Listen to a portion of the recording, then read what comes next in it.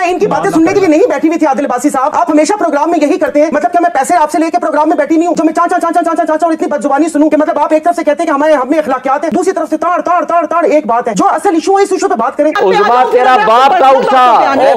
को किसने निकाला था? तेरा बाप टाउट था। तू तूने नवाज़ शरीफ को राख एजेंट नहीं कहा हुआ। आदमी है। तू आदमी है। तो तुम आदमी हो। वकील हो के बिस्मिल्लाहिर्रहमानिर्रहीम। नजीर अगर आप ये वीडियो देख रहे हैं तो हमारे चैनल को सब्सक्राइब कर लें और बेल आइकन को भी प्रेस कर दें। नजीर सायरा बानो और शुएब शाहीन दोनों ऐसे लोग हैं कि जिन्हें बहुत कम ही बदजुबानी करते देखा गया है या शदीद गुस्से में आते देखा गया है। लेकिन अजमा बुखारी ने दोनों के साथ इसके अंदर बदतमीजी और बदजुबानी की कि जिसके जवाब में इन दोनों ने भी अजमा जुबारी की ज़ुबान बोलना शुरू कर दिया। सायरा बानो ने शुएब शाहीन का भी हिसाब चुकता कर दिया। हम आपको पहले वीडियो दिखाते हैं और फिर से बात करते हैं। इमरान खान के ऊपर अब इल्ज़ाम जो है एक तो ऑफिशियल सीक्रेट एक्ट का है दूसरा पाकिस्तान के मफाद को नुकसान पहुँचाने का है इसकी तहकीकात के लिए और तहकीकात में ये है, मुझे बात करने दीजिए मुझे बात करने दीजिए के under में एक बात इदारा है, मैं आपकी बात सुन लेती हूँ ना तहमुल के साथ। खुदा का वास्ता तहमुल अब आप भी ले आए अब इतना कुछ करने के बाद आप लोगों के अंदर तहमुल नहीं आया। सुप्रीम कोर्ट ने तो आपको पहले दिन जो है वो जेल के पीछे डाल दिया था कहा था इनको भेजो ये झूठे हैं एक नंबर के मुनाफिक है। इतने झूठ बोलने के बाद भी अभी भी वो शख्स अपने आप को जो है वो सादक और अमीन कहता है और रोज भाषण देगा यूट्यूब पर बैठ के नहीं नहीं नहीं नहीं मसला हल नहीं आपके सारे सवालों का जवाब इसमें है। चले आपका इशारा एस्टेब्लिशमेंट की तरफ़ है जो हर छह साल बाद बयान देती है कि हम सियासत में नहीं है। यानी कि आप जितने भी एंकर बैठे हुए होते हैं सबका इशारा उसी तरफ़ होता है और मुँह बातें करके आप लोग हमारे मुँह से निकलवाना चाहते हैं। तो चले अच्छी बात है काटिएगा नहीं प्रोग्राम आपने जब इतने सारे इशारे कर ही दिए तो फिर उनकी मर्ज़ी।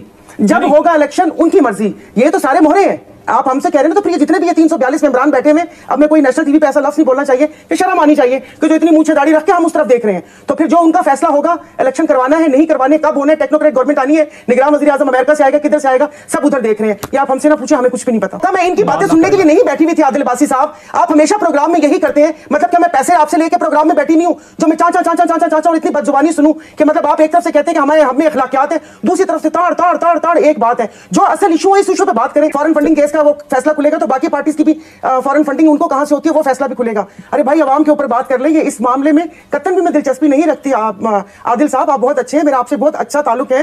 अवामी इशू पे बात कर लें ये किसी दूसरी पार्टी के जारे ना मैं आपको बता सकती हूँ ना मैं सुन सकती हूँ। एक तरफ़ पूरी पार्टी को उनकी आप डिफेंड करिए दूसरी तरफ़ कह रही है मैं तो किसी पार्टी को डिफेंड नहीं कर रही। और मेरा जो है वो माइक मांगना आपको बहुत तकलीफ़ दे और नागवार गुजरा। और आपने बहुत जो है वो तजहीक आमेज आपने जो है जुमले बोले मैं आपको आपकी उसमें जवाब दे सकती हूँ। आप कितना ड्रामा करने की और वो जो है ना एक्टिंग करने की आदत नहीं है। जो ये भी अवामी मफाद है कि जो पैसे खा गया है ये अजीब मुनाफत है जो सारी ज़िंदगी पले ही स्टैब्लिशमेंट की उसके ऊपर है जो हमेशा देखते स्टैब्लिशमेंट की तरफ़ है वो दूसरों को जो है वो ताना दे रहे हैं। अगर गवर्नमेंट के साथ स्टैब्लिशमेंट का ताल्लुक है वो बड़ा गलत है। वो नहीं होना चाहिए। आप पैदाइशी सियासतदान थे ना? आप लोग आप देखना बात।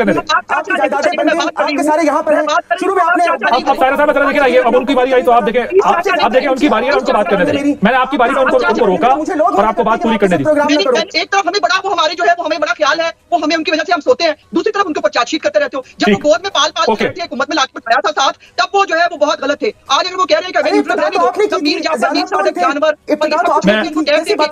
हैं? आप जो टाउट रहे हैं जाके आप चैम्बर के अंदर जो जिस तरह से आप केस ओहो ओहो उजमा तेरा बाप टाउट था। ओफेन डेविस को किसने निकाला था? तेरा बाप टाउट था। तू तूने नवाज़ शरीफ को राख एजेंट नहीं कहा हुआ। आदमी है। तू लंती आदमी है। तो दबाओ। लंती आदमी हो। वकील हो। के नजीर जब इंसान बदजुबानी करता है तो सबसे पहले तो अपनी फितरत को ज़ाहिर कर देता है अजम बुखारी ने कभी भी केयर नहीं की कि सामने बैठा हुआ बंदा कौन है। वो सिर्फ़ चढ़ दौड़ती हैं। उन्होंने ये समझ लिया है कि बदजुबानी करना या गुस्से से बोलना, बहुत ही ग्रेसिव होकर किसी के ऊपर जो है बयानबाजी करना, इससे सामने वाले बंदे को जो है जिच किया जा सकता है। तो ऐसा नहीं होता। बाज जो है सामने वाला बंदा आपकी ज़ुबान में तो जवाब नहीं दे सकता, लेकिन अगर आप उसे ज़्यादा मजबूर करेंगे तो फिर वो भी आपको आपकी टोन के अंदर आके जो है बात करना स्टार्ट कर देगा।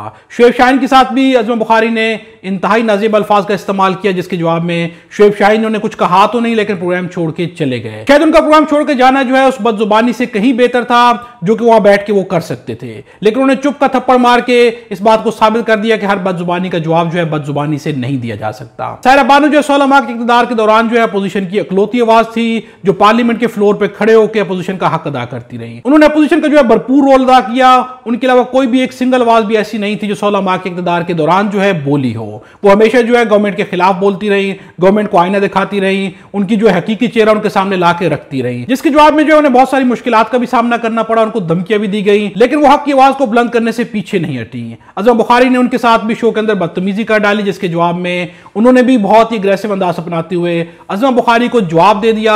आल दो के बहुत ज़्यादा नाजिब अल्फाज का इस्तेमाल नहीं किया, लेकिन जवाब जो है बहुत ही अग्रेसिव करके उन्हें दे दिया है। बदजुबानी का जवाब कभी भी बदजुबानी नहीं हो सकता, लेकिन बदजुबानी जो है हमारे ना तो टॉक शोज़ का कल्चर है, ना ही मीडिया का कल्चर है, और ना ही मीडिया के ऊपर इसको प्रमोट किया जाना चाहिए। अगर कोई बदजुबानी करे तो सबसे बेहतर यह है कि आप खामोशी इख्तियार करके प्रोग्राम को छोड़ के चले जाएँ, लेकिन बदजुबानी का जवाब जो है कभी भी बदजुबानी से ना दें। शुएब शाहीन का एक्शन बहुत ही ज़बरदस्त था। उन्होंने कैसा स्टेप उठाया कि जो अजमा बुखारी हो, इस तरह के जो भी लोग हो, बहुत गुस्से से बोलते हैं और बहुत ही ज़्यादा नाजिब अल्फाज का इस्तेमाल कर जाते हैं। इन तमाम के मुँह पे एक थप्पड़ भी और एक लेसन भी है कि इस तरह की ज़ुबान इस्तेमाल करके आप सामने वाले को जिच नहीं कर सकते। बल्कि सामने वाला जो है, खामोशी से प्रोग्राम छोड़ के आपको ऐसा थप्पड़ लगा सकता है कि जो आपकी बात जुबानी से कहीं ज़्यादा जो है शदीद भी हो सकता है और जिसकी मीनिंग जो है बहुत पॉजिटिव होती है। इस बारे में आपकी क्या राय कमेंट्स में ज़रूर बताइएगा। खुदा हम सबको और हमारे वतन पाकिस्तान को अपनी जमान में रखे।